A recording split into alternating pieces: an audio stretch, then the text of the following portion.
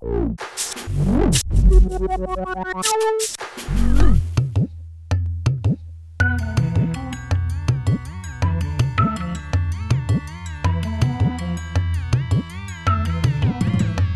Jaureche existe gracias a, ese, a esa fecha del 22 de noviembre de 1949, que es el tema de la gratuidad de la enseñanza, de la enseñanza superior. Pensemos que si la enseñanza superior no fuera gratuita, la Jaureche sería algo imposible de imaginar. ¿no?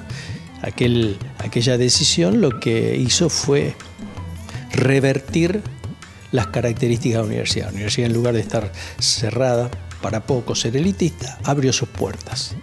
Por supuesto, los que llegaron, no fue toda la sociedad, llegaron las capas medias, se pasó de algo así como de 45.000 a 130.000 alumnos en unos 10 años, entre el 45 y el 55.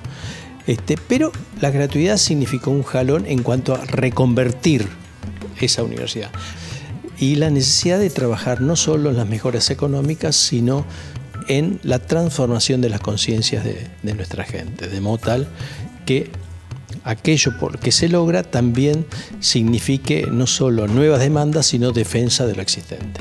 El sentido es en estos 70 años, en una universidad que es paradigmática de aquellas universidades que vinieron a garantizar el derecho a los jóvenes de menores recursos, su derecho a la, a la educación superior, cuando Perón pensó el decreto de gratuidad de los estudios de grado, en realidad lo que estaba pensando, estaba pensando justamente en estos jóvenes. Entonces, esa idea hoy nosotros la queremos resaltar en esta universidad, en este acto, con, esta, con este barrio, con esta gente, con estas barriadas. ¿no?